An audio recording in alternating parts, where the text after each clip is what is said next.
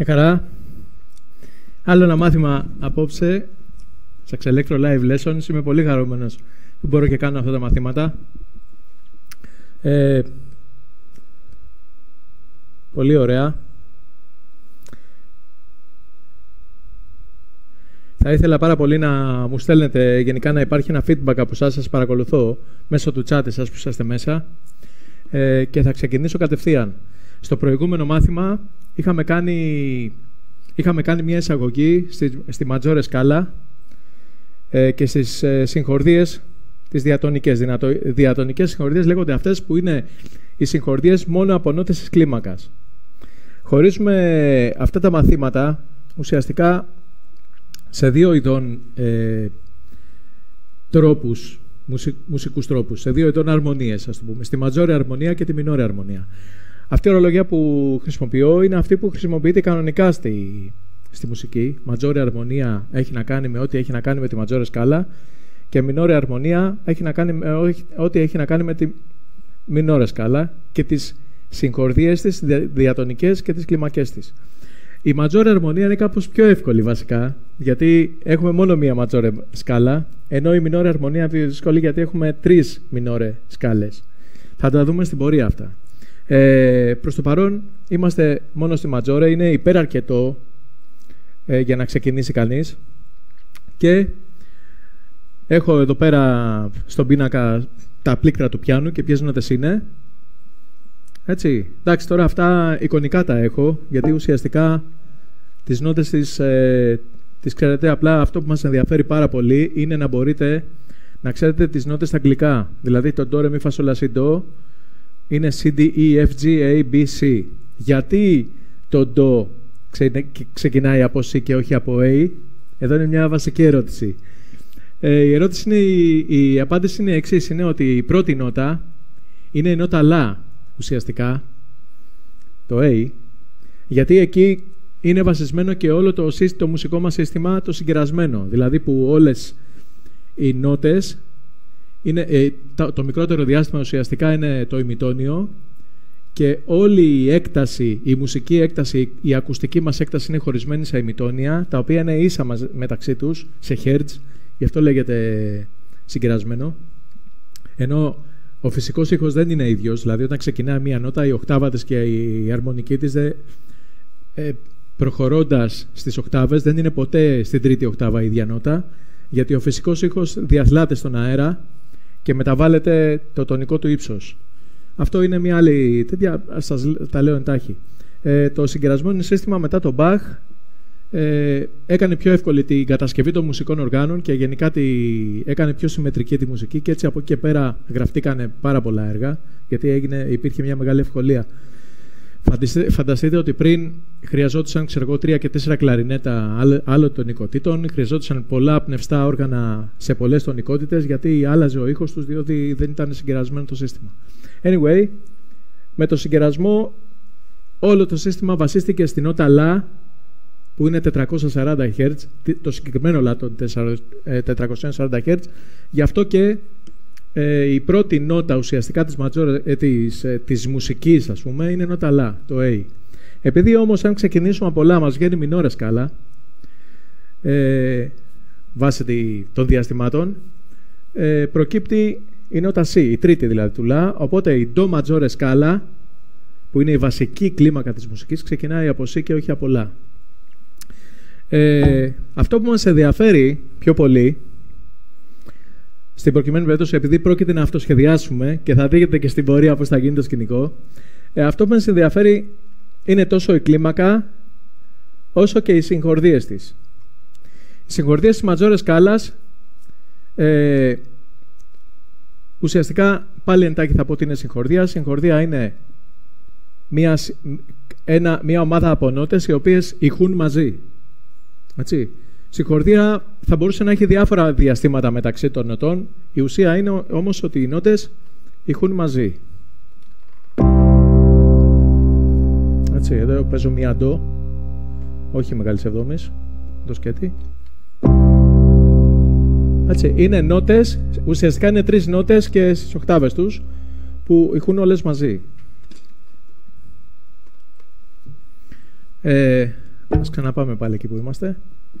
Λοιπόν, ε, στην προκειμένη περίπτωση, ξεκινώντας, μας ενδιαφέρουν οι βασικές συγχορδίες, οι τρίφωνες. Δηλαδή, μια συγχορδία, έχω πει ότι καλό είναι να έχετε βασικές γνώσεις της αρμονίας, αλλά εγώ θα τα λέω και εδώ. Αποτελείται από την τονική, που είναι η πρώτη βαθμίδα, την τρίτη, ουσιαστικά και την πέμπτη, όταν είναι τρίφωνη. Δηλαδή, ένα μητόνιο πάνω από την τονική, τρεις νότες πάνω, δηλαδή αν είναι ντο μισόλ, ξέρω εγώ, ντο, ντο ρε μη, τρεις νότες, ένα διάστημα τρίτης, και μετά διάστημα πέμπτης από την τονική, ντο ρε μη, φα, σολ, πέντε νότες. Οπότε είναι, η πρώτη είναι ντο μισόλ. Ε, μεταξύ τους πάλι ε, απέχουν διάστημα τρίτης, δηλαδή διάμεσά τους χωράει και άλλη μία νότα η οποία θα δούμε στην πορεία ότι μπαίνει από πάνω σαν επέκταση. Στην προκειμένη περίπτωση, πρώτη συγχορδία ντο μη σολ. Έτσι, δεύτερη συγχορδία ρε φαλά και ούτω καθεξής μέχρι να ξαναφτάσουμε στην ντο ή μέχρι και το σι ας πούμε που είναι μόνο νότες της major scales. Δηλαδή ότι υπάρχει εδώ είναι νότες από αυτή την κλίμακα. Εντάξει. Τι γίνεται τώρα, γιατί συμβαίνει αυτό; Η αρμονική σκέψη υπερίσχυσε εντελώς της πολυφωνικής με την έννοια της πολύφωνης ε, μελωδίας και έτσι φτάσαμε στη μουσική που είμαστε τώρα.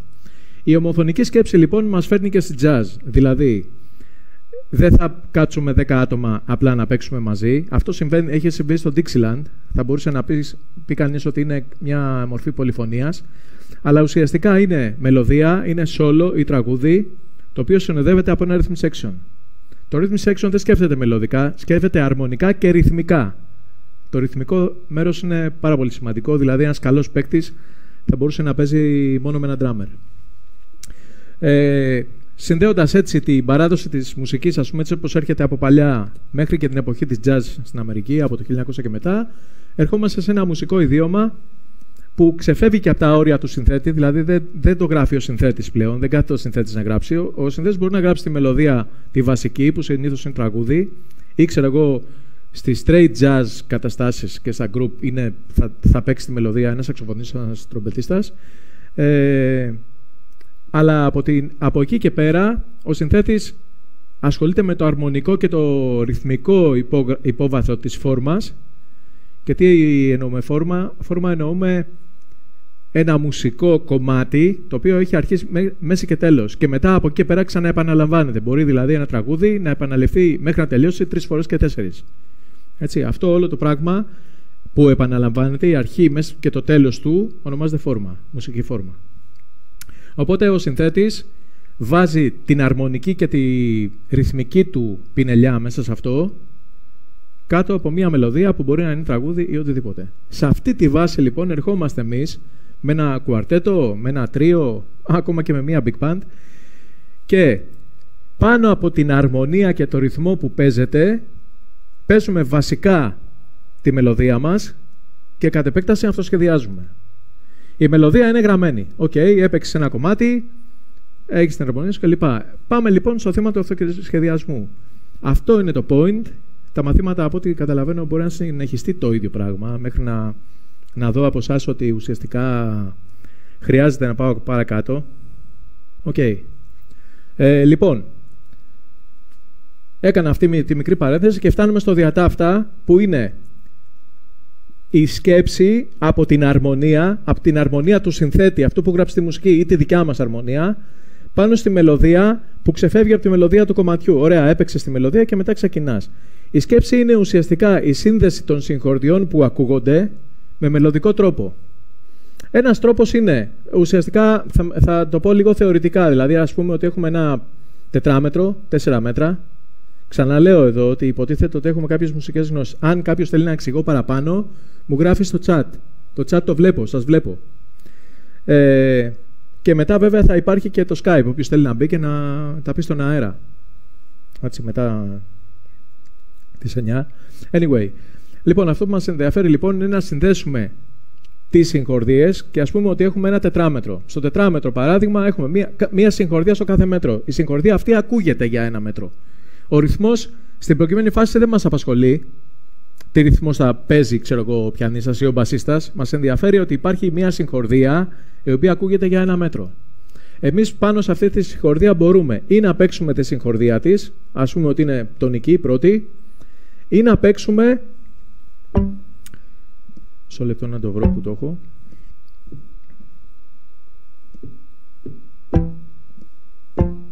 Εδώ. Ή να παίξουμε τους τρόπους της. Δηλαδή, πάνω από κάθε συγχορδία, στην προκειμένη περίπτωση είμαστε αυτή τη στιγμή πάνω στη ματζόρε σκάλα, έτσι. Στην κάθε συγχορδία, τονική, ξέρω εγώ, ε, που είναι ντο μη όλη συγχορδία ανατρίτε, τρίφωνη ουσιαστικά. Ο τρόπος από ντο μέχρι ντο εκτός από ματζόρε ονομάζεται Ιωνικός, Ιόνιαν. Και οι νότες παράδειγμα είναι αυτές εδώ. Έτσι, ντο, ρε, μη, φασολά, σι. Αν η συγχορδία μας είναι δεύτερη βαθμίδα, δηλαδή ρε μινόρε, ο τρόπος λέγεται δωρικός και οι νότε είναι από ρε μέχρι ρε. Δηλαδή από εκεί που ξεκινάει η συγχορδία και η τονική, από εκεί ξεκινάει και η, να μετράμε στην ίδια κλίμακα βασική πάντα τον τρόπο της. Ονομάζονται τρόποι γιατί, γιατί ξεχωρίζουν από τη ματζόρε σκάλα, δηλαδή η ματζόρε σκάλα μας είναι αυτή, αν ξεκινήσεις από ντο μέχρι ντο είναι ο ιονικός, αν ξεκινήσεις από ρε μέχρι ρε είναι ο δωρικός. Επειδή δεν είναι βασική ε, κλίμακα, είναι δευτερεύουσα, ονομάζεται τρόπος. Έτσι είναι. Έτσι είναι το, η ορολογία. Ε, αν ξεκινήσουμε λοιπόν από ρε μέχρι ρε έχουμε το δωρικό τρόπο, από μη μέχρι μη έχουμε το φρίγιο τρόπο, ε, από φα μέχρι φα το λίδιο, από σολ μέχρι σολ το μιξολίδιο, από λα μέχρι λα το νεολικό και από σι μέχρι σι το ολοκρικό. Λοιπόν τώρα εδώ θα μπορούσα εγώ να σας κάνω ένα έτσι demonstration ας πούμε. Εδώ όπως ακούτε τις νότες βασικά βλέπετε και τις συγχορδίες. Αυτό είναι φτιαγμένο έτσι για να μας φτιάχνει και το κέφι. Οπότε έχουμε το... Εδώ πέρα είμαστε στον ιονικό τρόπο. Τώρα μη φασολά συντό. Αν ξεκινήσουμε από ρε...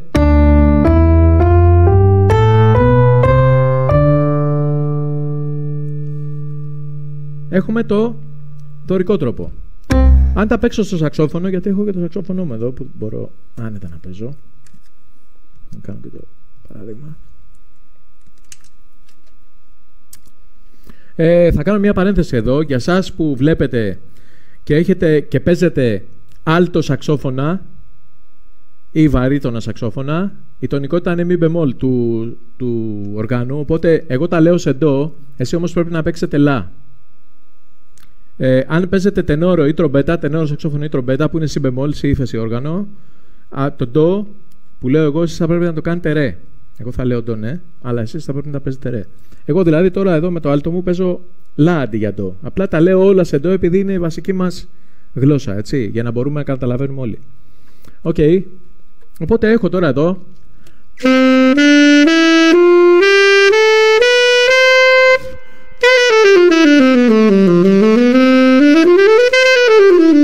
Ιωνικός τρόπος. Συγχορδία.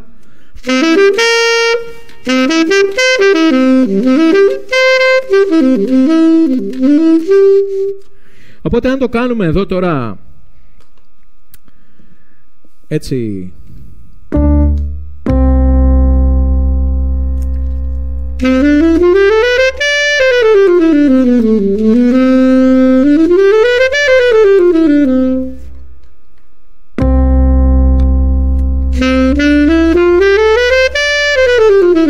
Έτσι. Ιωνικός τρόπος. Αν πάρω τη δεύτερη βαθμίδα, που είναι το ρε, ξεκινάω από ρε. Ρε μη φασολά το ρε.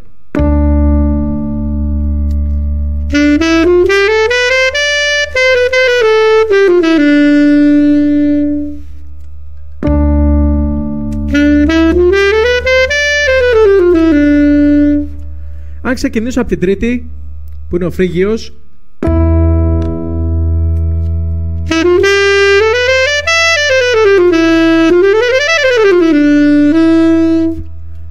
Τέταρτη, ο Λίδιος.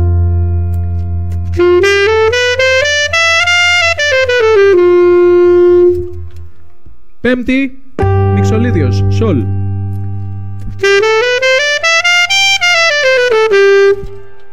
Και ούτω καθεξής.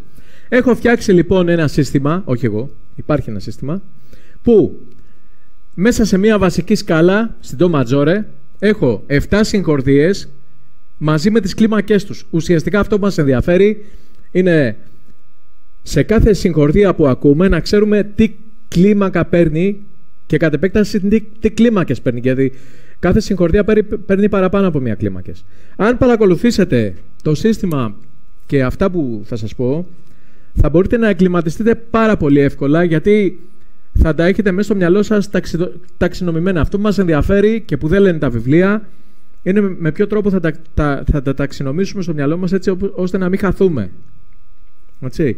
Ουσιαστικά στην πρώτη φάση που μιλάμε τώρα εδώ έχουμε τη ματζόρε σκάλα, τις συγχορδίες της και τις κλίμακές της. Άρα έχουμε τα εφόδια να κάνουμε ένα ουσιαστικά σόλο. Εντάξει. Okay. Ε, εγώ θα κάνω το εξής τώρα.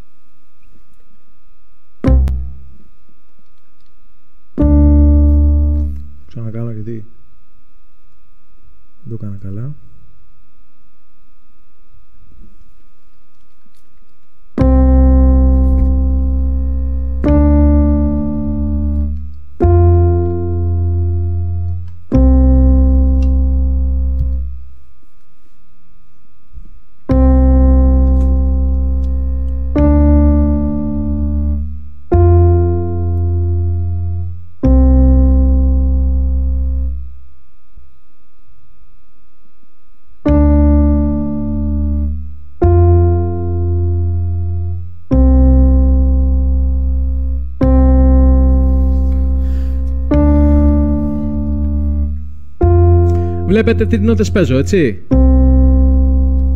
Πρώτη είναι ντο, που σημαίνει ιονικός τρόπος. Η δεύτερη είναι ρε, που σημαίνει δωρικός τρόπος. Η τρίτη συγχωρδία είναι το φα, που σημαίνει λίδιος τρόπος. Και μετά ξαναπέφτει στο ντο, έτσι. Και αρχίζω.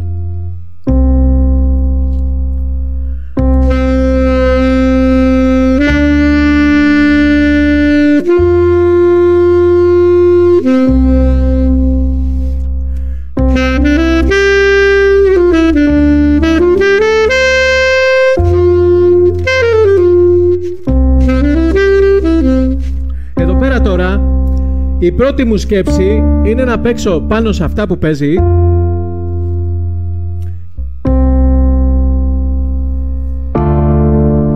Κάνουμε συγχορδίες.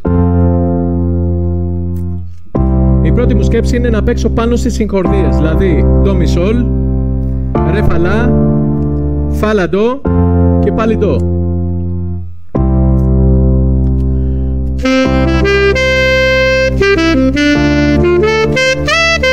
Thank you.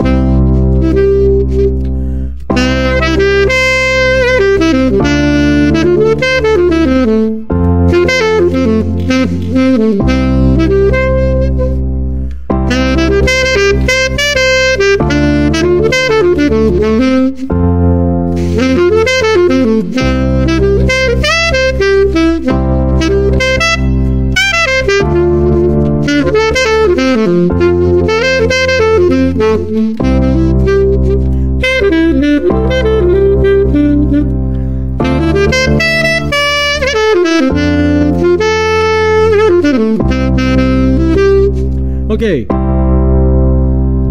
Εγώ τι κάνω τώρα; Ε, κάνω ανάλυση και βάζω ένα δικό μου ρυθμό, έτσι. Σε αυτή τη φάση λοιπόν, εγώ μπορώ να βάλω τώρα ένα ρυθμό εδώ.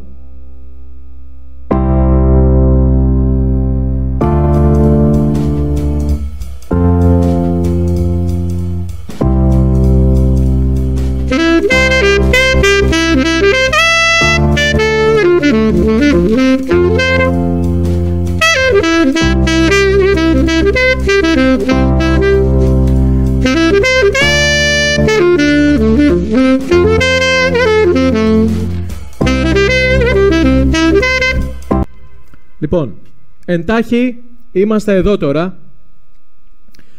Είμαστε στην περίπτωση που μπαίνει ο ρυθμός και δένουμε το embellishment που κάνουμε, το συλλαβισμό. Ουσιαστικά το τι ρυθμό θα βάλουμε πάνω σε αυτό που, που θα παίξουμε παίζει πάρα πολύ μεγάλο ρόλο γιατί ορισμένες φορές μας γλιτώνει και από, από πολλές νότες. Δηλαδή εκεί που ε, τελειώνει η φρασιολογία μου ή δεν μπορώ να σκεφτώ άλλο, μπορώ να παίζω ρυθμικά. Βέβαια αυτό έχει ένα, έχει ένα, ένα όριο, δεν μπορεί να συνέχεια αριθμικά, αλλά είναι κάτι που χρησιμοποιείται πάρα πολύ καλά και μπορεί να σε βγάλει σε πολύ ωραία πράγματα να το ξανακάνω.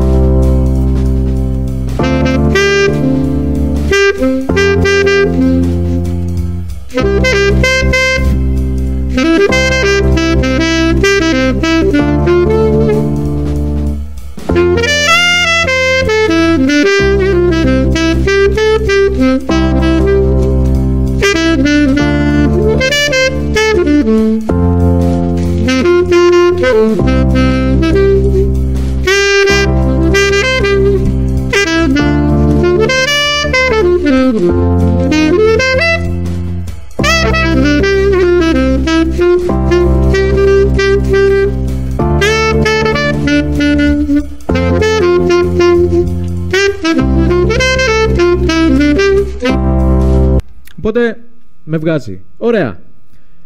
Δεύτερο βήμα δηλαδή είναι ακούμε τις συγχορδίες μας παιγμένες και βάζουμε το δικό μας ρυθμό παίζοντας νότες της συγχορδίας. Χωρίς να σκεφτούμε νότες, απλά όταν, όταν αλλάζει η συγχορδία πρέπει να είμαστε με νότες της επόμενης συγχορδίας που έχει αλλάξει. Τώρα εδώ πέρα υπάρχει μια άσκηση για όποιον θέλει. Μπορεί να βάσει στόχο και να λέει ότι εγώ σε αυτή τη... Στην επόμενη συγχωρία θα πάω στην τρίτη της. Στην επόμενη συγχωρία θα πάω στην πέμπτη της. Αυτό ε, ε, ουσιαστικά ξεκινάς να βάζεις το μυαλό σου να σκεφτεί με αυτόν τον τρόπο. Γιατί αλλιώς παίζεις ό,τι νότα σου κατέβει. Όχι ό,τι νότα σου κατέβει. Δηλαδή παίζεις μεν σε συγχορδία, αλλά δεν έχεις κανένα στόχο. Μπορείς, εφόσον το κατακτήσεις αυτό, δηλαδή αν πούμε ότι έμαθες αυτές τις τρεις συγχορδίε που παίζεις τώρα, να αρχίσεις να παίζεις μέσα ε, νότες. Το επόμενο βήμα λοιπόν είναι από συγχορδία σε συγχορδία να βάζει στόχο. Δηλαδή είμαι ξέρω στο major και μετά θα πάω στη ρε. Okay. Από το σολ της ντο στη ρε θα πάω στην πέμπτη της που είναι η νότα λα. Εδώ πέρα λοιπόν από εδώ και πέρα ξεκινάει η δυσκολία. Ότι πρέπει να ξέρω πολύ καλά τις συγχορδίες και τις νότες τους και να τις έχω στα χέρια μου που σημαίνει ότι και τεχνικά πρέπει να είμαι καλός στο όργανο έτσι ώστε Ανά πάσα στιγμή θέλω να περνάω από μία νότα στην άλλη έχοντας, έχοντας τη σκεφτεί. Έτσι. Οπότε, αν αυτό σας φαίνεται δύσκολο, καταλαβαίνετε ότι κάποιος που έχει φτάσει στο σημείο να σχεδιάζει καλά και να έχει φρασιολογία, έχει, αυτό που κάνει έχει μία μεγάλη δυσκολία. Δηλαδή, το μυαλό είναι υπολογιστής. Γι' αυτό και έχει σημασία πώς θα είναι ταξινομημένα τα πράγματα στο μυαλό του. Έτσι, γι' αυτό και ξεκινάμε έτσι σιγά-σιγά και θα δείτε ότι θα σας βγάλει σε πολύ καλό. Λοιπόν, okay. Ε, Περνώντας από τις συγχορδίες λοιπόν, ξεκινάμε και βάζουμε κλίμακες. Αν βάλουμε τις κλίμακες πριν κάνουμε τη, αυτή τη δουλειά με τις συγχορδίες, ε, ουσιαστικά δεν θα είμαστε και πολύ προσανατολισμένοι, γιατί ακούμε ένα μάτσο από νότες παιγμένες και εμείς από πάνω παίζουμε μελωδία. Καλό είναι να έχουμε παίξει την αρμονία πρώτα, δηλαδή το, το, αρπέτσι, το αρπέζ στο όργανο θα πρέπει να το έχουμε μελετήσει αρκετά. Έτσι ώστε να έχουμε μάθει όταν ακούμε παιγμένη τη συγχορδία να αναγνωρίζουμε και τις νότες κατά κάποιο τρόπο. Έτσι ώστε να μπορεί η, η μελωδία που θα παίξουν πάνω στην κλίμακά μας στο μυαλό μας να είναι συνδεδεμένη με αυτό που κάνουμε. Γιατί αλλιώς θα σκεφτόμαστε κλίμακες, δηλαδή δεν θα σκεφτόμαστε τις νότες τη συγχορδίας καθόλου. Θα διαβάζουμε ντο, ξέρω εγώ, σε παράδειγμα, μεγάλης εβδόμης, και θα παίζουμε από πάνω χωρίς να το συνδέουμε. Όσο πιο πολλά πράγματα συνδέουμε στο μυαλό μας, τόσο πιο πολύ μπορούμε να λειτουργήσουμε μουσικά στον αυτοσχεδιασμό. Από αυτά που λέω μέχρι τώρα καταλαβαίνετε ε, ότι το μουσικό μέρος, για να φτάσουμε στο σημείο δηλαδή και να είμαστε καλά έτσι, ε, μουσικά, έχει ε, ε, για να φτάσεις στο σημείο δηλαδή να, να, να ξεχάσεις όλα αυτά κατά κάποιο τρόπο και να πας μουσικά, θα πρέπει αυτά να τα έχεις μελετήσει πάρα πολύ. Που σημαίνει πολύ μελέτη στο σπίτι. Okay, τώρα θα στο ίδιο πράγμα, στην ίδια σειρά που έπαιξα, θα βάλω τις κλίμακες τους. Τις κλίμακες των συγχορδιών, έτσι. Okay. Ντο ιονικός. Ρε δωρικός. Και πάλι το.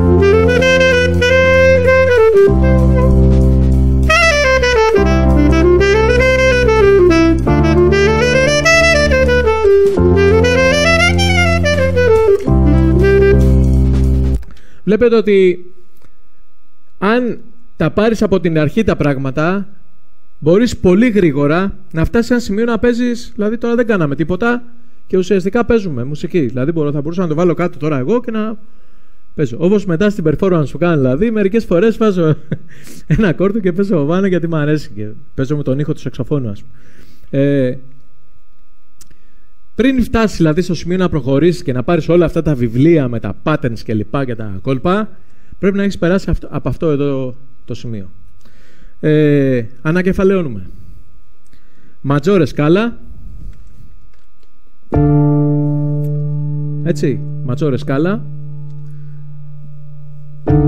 Yep. Ε, συγχορδίες τρίφωνες πάνω από κάθε νότα της ματζόρες. Τρίφο, τρίφωνες είμαστε ακόμα, δεν πήγαμε τετράφωνες. Οι συγχορδίες αναπτύσσονται ανατρίτες πάνω από την πρώτη τους νότα η νότα που ξεκινάνε ουσιαστικά, που είναι και τονική, λέγεται τονική, τονική τρίτη και πέμπτη. Δεν θα πω τα, τα ονόματα της βαθμίδας της σκάλα, μπορώ να τα πω σε άλλη φάση. Ε, και πάνω σε αυτές τις βαθμίδες έχουμε τους τρόπους. Ουσιαστικά τι έχουμε εδώ τώρα; Πρώτη βαθμίδα, βγάλτε τις έβδομες, έχουμε το ματζόρε, το είναι, σι είναι σημειογραφία, πρώτη βαθμίδα, τρόπος ιονικός, ιονικός τρόπος. Εντάξει. Δεύτερη βαθμίδα, ρε μινόρε, βγάλτε τις έβδομες. Ε, DM είναι το, η σημειογραφία. Δεύτερη βαθμίδα, δωρικός τρόπος. Εδώ θα κάνω μια έτσι μικρούλα αναφορά, επειδή έχουμε ε, ματζόρε και μινόρε συγχορδίες και έχουμε και μια, μια ελαττωμένη. Να σας θυμίσω τη διαφορά της ματζόρ με τις μινόρε. Ε, όλες οι συγχορδίες αυτές έχουν το, το ίδιο διάστημα πέμπτης που είναι πέμπτη καθαρή. 3,5 τόνοι. Η τρίτη τους όμως στις ε, ματζόρες συγχορδίες είναι τρίτη μεγάλη, 2 τόνοι δηλαδή, ενώ στους μινόρε είναι τρίτη μικρή, 1,5 τόνος. Εντάξει, δηλαδή μία είναι, η ματζόρια είναι αυτή, ενώ η άλλη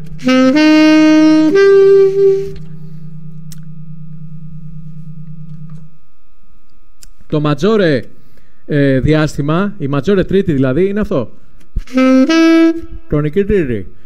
Η μινόρε.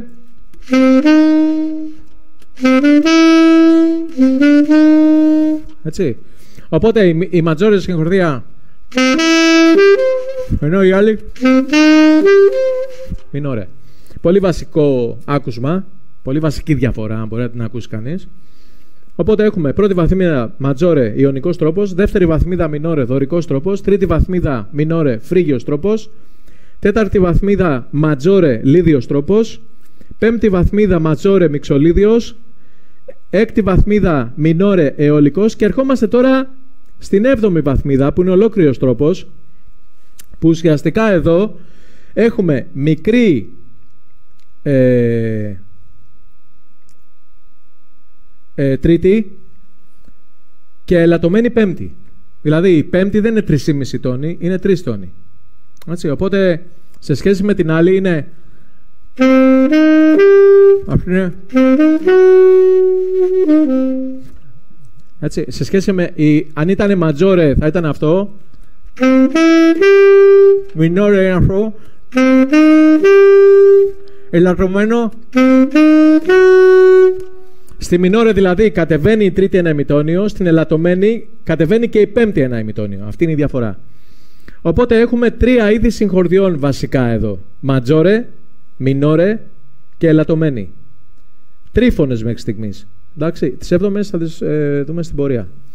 Ανακεφαλαιώνοντας, έχουμε τις συγχορδίες τη ματζόρες, έχουμε τη ματζόρες σκάλα, τις συγχορδίες της και τους τρόπους της. Έχουμε τα βασικά εργαλεία για να φτιάξουμε μία αρμονική σειρά και να αρχίσουμε να αυτοσχεδιάζουμε.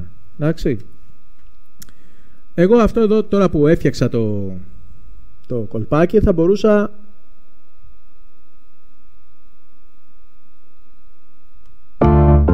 να το δείξω λίγο.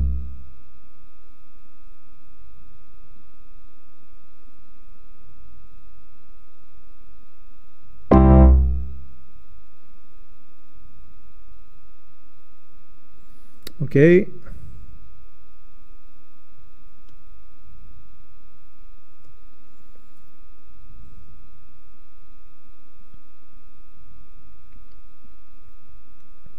Θα μπορούσα παράδειγμα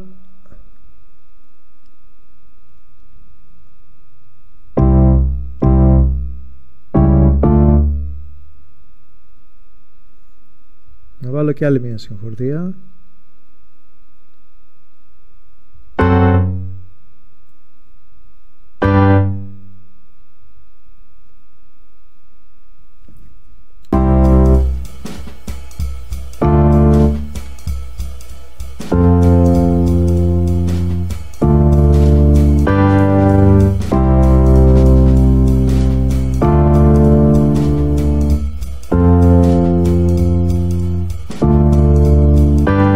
συγχορδία. αλλάζουν οι συγχορδίες τις βλέπετε κιόλας ποιες είναι. Οι τρίφωνες, θα βλέπετε τη τρίφωνη. Το, η τετράφωνη δεν θα ασχοληθούμε τώρα. Okay, μπορούμε τώρα αυτό να το κατεβάσουμε ουσιαστικά.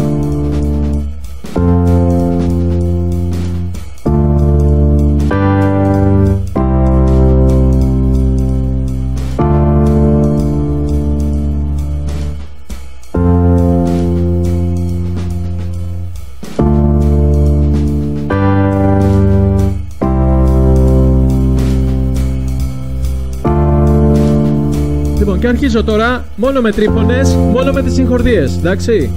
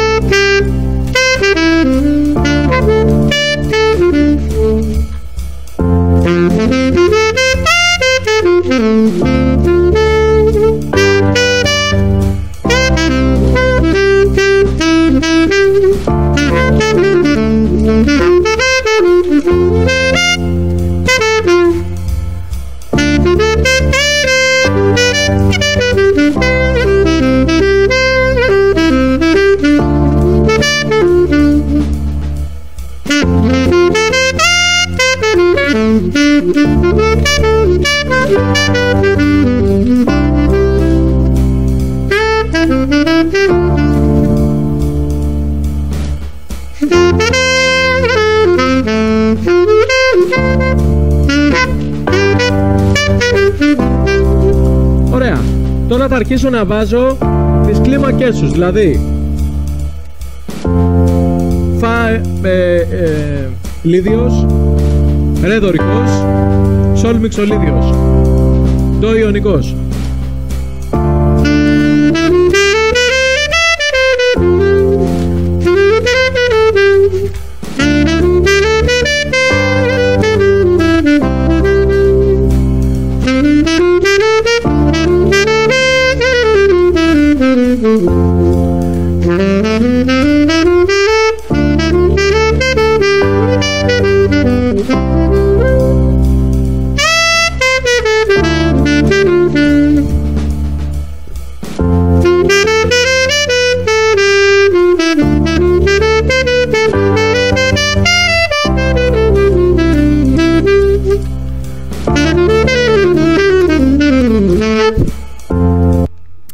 Οπότε ένα έτσι καλό ξεκίνημα είναι σε ένα sequencer.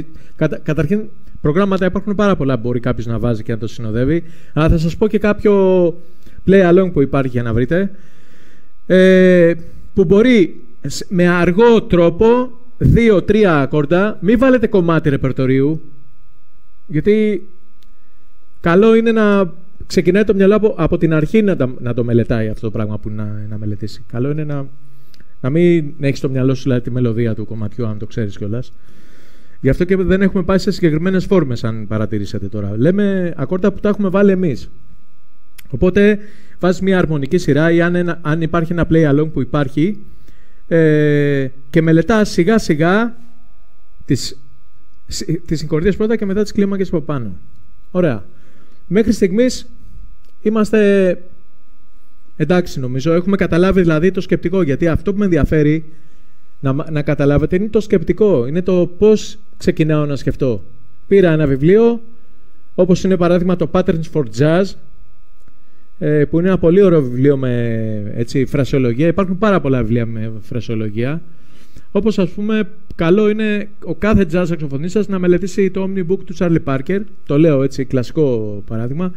Γιατί υπάρχουν και πάρα πολλά περάσματα που μπορείτε να μελετήσετε σε συγκεκριμένα κομμάτια και συγχορδιακές σειρές. Δηλαδή έχει φρασιολογία, ας πούμε, πολύ σημαντική μέσα. Ε, πιο πολλοί αλτίστε, ας πούμε, εντάξει, το έχουμε μελετήσει λόγω άλτο σαξοφώνου, γιατί ο Τσάλι Πάρκερ ήταν αλτίστας, αλλά γενικά είναι καλό για μελέτη. Ε, αλλά υπάρχουν πολύ σημαντικά βιβλία που έχουν patterns. Τα patterns από μόνα τους δεν σου κάνουν τίποτα. Απλά σου λένε, σου δίνουν μια ιδέα σε τι θα μπορούσε να παίξει πάνω σε ένα ακόρντο. Υπάρχουν όμως ένα τρισεκατομμύριο ιδέες. Αυτό που σε ενδιαφέρει είναι πώς θα σκεφτείς για να φτάσεις σε αυτό το σημείο. Οπότε τα patterns θα έχει κανείς και γενικά τα βιβλία μελέτης για να λύνει τα χέρια του πάνω στο όργανο και το μυαλό του κάπως. Αλλά από εκεί πέρα η δουλειά είναι αυτή που κάνουμε τώρα εδώ. Συγχορδιακές σειρές, πρώτα με την αρμονία, ακόμα και χωρίς συνοδεία. Δηλαδή βάζω μια συγχορδιακή σειρά και πάνω στο ρυθμό μετράω δηλαδή με το πόδι μου τα μέτρα και ακόμα και χωρίς να υπάρχουν drums σε οτιδήποτε. Μετρώντας από μόνος μου, αρχίζω και μελετάω πρώτα αρπέτζιο νότες δηλαδή μόνο των συγχορδίων για να μπορέσω να συνηθίσω στο άκουσμα της αρμονίας.